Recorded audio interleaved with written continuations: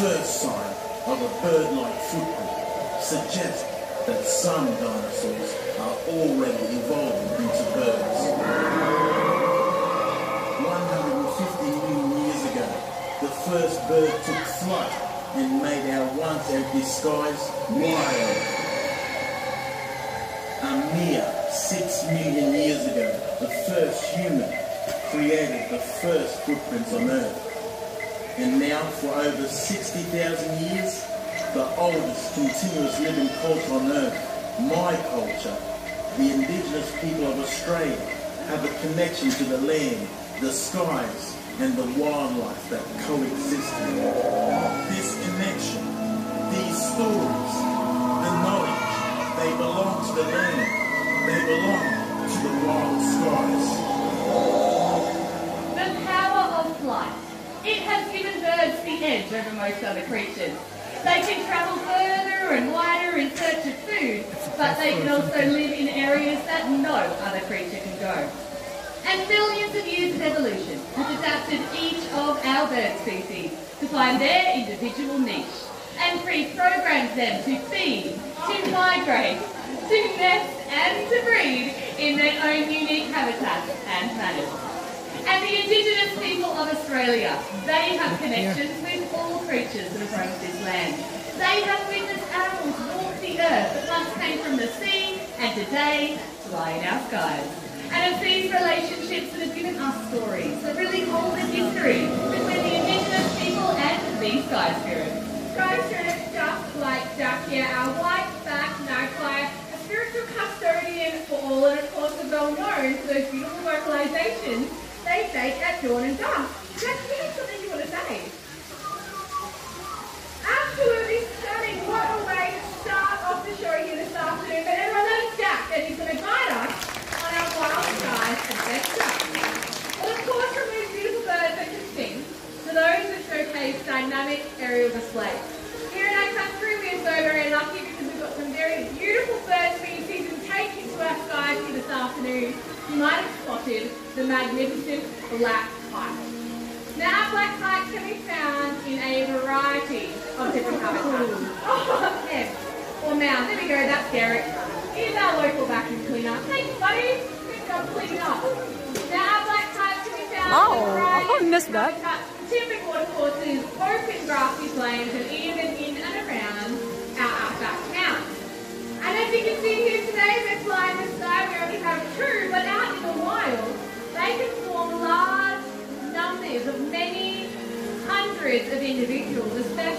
the grass on the plains. But you might notice as they acrobat through the skies here this afternoon that they use that tail to twist. Oh, I've got that one for you, Shani. I'll pick that up. because they get some butter talent? Butter talent. They utilize that tail to help twist and maneuver their bodies as they catch that food from the sky, Wow. or as they effortlessly search for the food on the ground. Oh, now, believe it or not, are readily attracted to fire, and large numbers can be spotted cartwheeling through the smoke. The idea is they take advantage of any animals or insects that might be escaping the blaze. In fact, the indigenous the Northern Territory maintain that a collective of kites they call firehawks can help to spread fire. How do they do this? Well,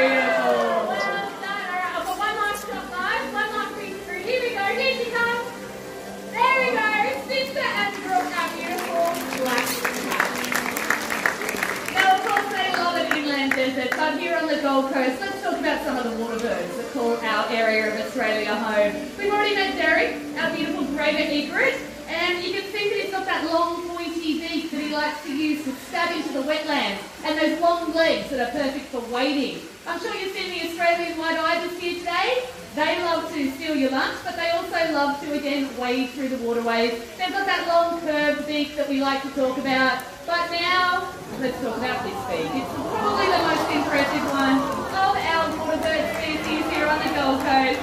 This is our Australian pelican, and his name is Marlin. Now, Australian pelicans absolutely love the water. You can see these birds roosting on our sandbanks, our rock platforms, and our reefs. But of course, they love to go swimming in our lagoons, our bays, and our estuaries. But probably the most characteristic feature of a pelican is, of course, this very impressive elongated bill and the massive throat pouch that it has. This bill can grow up to 50 centimetres in length, and it plays a very important role in a pelican's feeding. You see the lining of their bill? It's incredibly sensitive, and that allows the pelican to locate fish, even in the murkiest of water. Look on the upper mandible. You'll also spot that hooked area, and they can use that to grip onto slippery food items. But basically a pelican uses their bill like a net. They can plunge their bill down into the water, show us how it's done, Marlin. They'll grab a big mouthful of water and fish, and then they can then empty out that water and manoeuvre that fish into a swallowing position. And when it is fully extended, a pelican's bill can actually hold up to 15 litres of water. But you know, because of this, pelicans unfortunately become susceptible to our fishing equipment and our fishing tackle. They can get tangled up in this. So it's really important to remember it only takes one negative action to cause harm to a pelican and only one positive action to prevent it. Sorry in the front row, you didn't splash zone there. Why wouldn't you want to protect birds like that? Thank you, Marlin. See you later, buddy. But of course, bird species that have learned to adapt really well to the changes that we have made to their environment. And our next guest is a bird that can get up to 70% of its diet from following commercial fishing trawlers. A highly adaptable species. It's this cute little guy here. This is our crested tern, and his name is Monster. He's not really a monster at all, though, is he? He's actually probably the cutest bird we've got in our bird show. And a bird that you can find on almost every stretch of the Australian coastline. What they like to do is dive for food. They can dive from up to 10 metres above the water. And they can dive to depths of sometimes a metre below the surface. They will do this when they're looking for their favourite food. Things like anchovies and sardines. They've even been seen up to 10 kilometres out to sea during the breeding season, looking for these beautiful fish. But crested terns have also been found in the centre of our country as well. Now, how does a crested tern get into arid interiors of Australia, you might wonder? Well, they're pretty little and they're pretty light, so it's said that they're often blown there by some of our inclement weather, like a passing tropical cyclone. Oh no, Monster, you hear the thunder, I can hear the thunder, and the mist is coming, buddy. I don't want you to get blown inland, even though he's a water bird, he doesn't like to get wet. So we better get you out of here, and just in case it starts raining, I'll protect you. Let's go. Alright everyone, that's our crested tern monster. What a cute addition to our Queensland bird days. I'm such a good girl, little monster. Now, Australia is one of the driest countries on earth. But in the summer months, the heat of the day brings within the storm season. And as you know, a rumble of winter thunder is a warning sign for us all to good rain That is not the only indication that you can rely on. As all you need to do is look to the natural world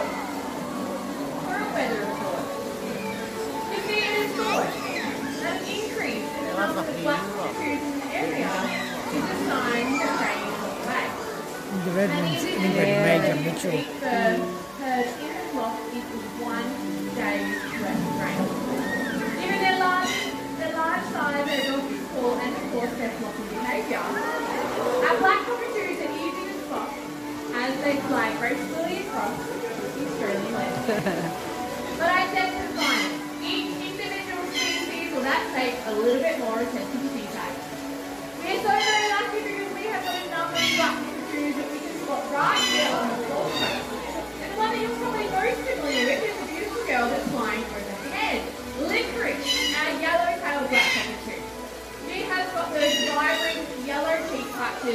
bright yellow tail feathers. The one that you're probably least likely to see, since they are found more inland, is the red-tailed black cockatoo, as you can see, feeding, showcasing that stunning tail coloration. Similar in size to our beautiful yellowtail, however, of course, have those distinctive red tail feathers. They do also have a close relative that can be spotted in the northern New South Wales region, our glossy black cockatoo. However, they are unfortunately facing a rapid decline out in the wild. And these beautiful girls that we have here they are in fact ambassadors for their species. So what we would like to do is offer one last guest chance to get just a little bit closer. So sir, in the second row in the blue jumper, that's you just look down, yes, that's yeah, give us stand up where you are, please sir. Stand up right where you are, arm out to the side, nice and straight like a tree, there we go, because you're going to have a wonderful encounter with licorice.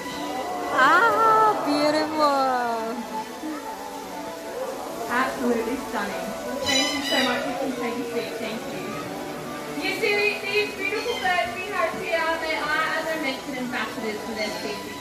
There are 2,000 different species of cockatoos in the world, and our black cockatoos here in Australia make up to six of them. Of those six, half are already endangered, as they are facing rapid decline out of the wild due habitat destruction. But we are proud to stand here today here at Currumbin Wildlife Sanctuary and say that we are a part of a very important breeding program. Just one positive step towards a brighter future for beautiful birds like Barb. What do you reckon? You think they're stunning? You might notice you see something like here this afternoon that she is effortlessly rotating that head of hers. That is because they have got double the amount of vertebrae in their neck as a giraffe. So this actually allows them to rotate that head 270 degrees. So they will sit high in the canopy using that effortless movement to locate their prey.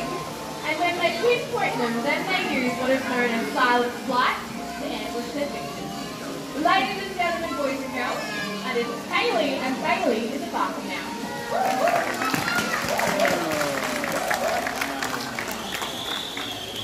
And it's in the bushes behind the rubbish bin or perhaps a flash of colour in the tree. Whether you know it or not, you're back out at feeding and housing a variety of animals that bring the night to life. But of course, of all the unique animals that emerge at night, you create such a magical ambience quite like an owl. In Indigenous culture, owls are seen as a totem for women and universally symbolise the powers of mystery, night and wisdom. And I'm sure we can all agree there is something wonderfully alluring about our owl species.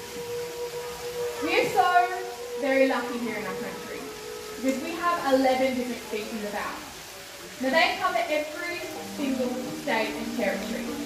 And one in particular is known to be a formidable hunter of the night, the barking owl.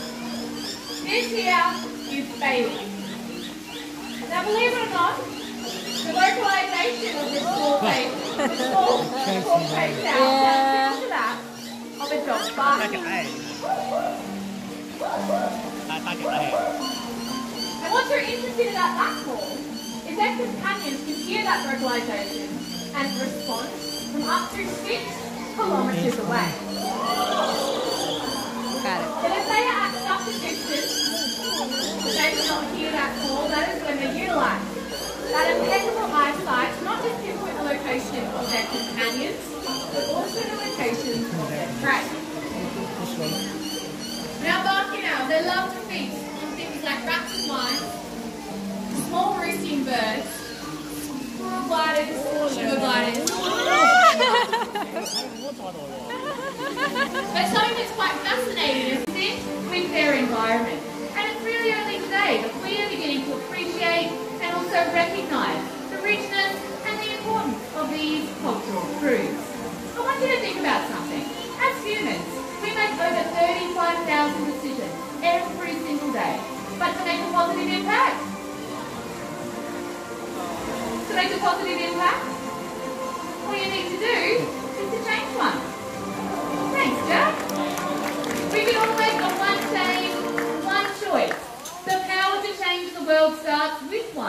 So let's keep our skies forever wild. Wow.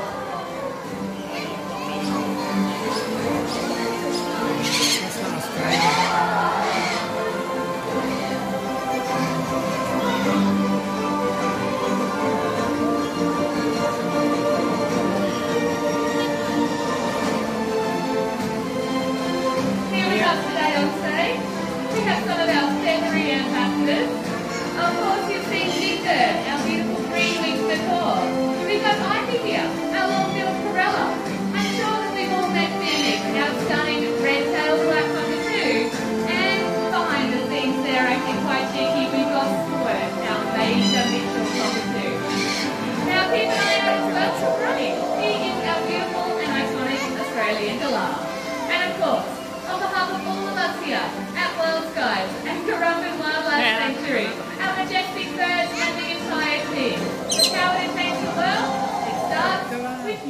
Thank you everyone. The one. See the one? This one? Yeah. The pink. That's a one. brand new day.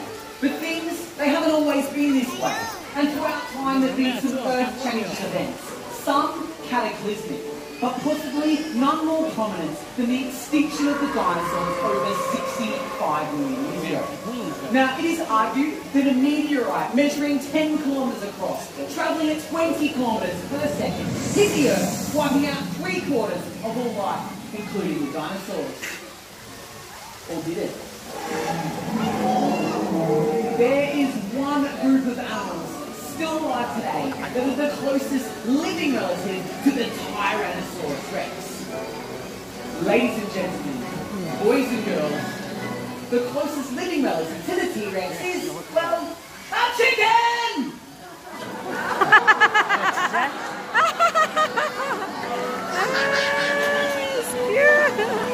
That there was T-Rex, our simply dancing chicken. Australia's largest, yet most majestic apex predator. It's also one of the most persecuted on Earth.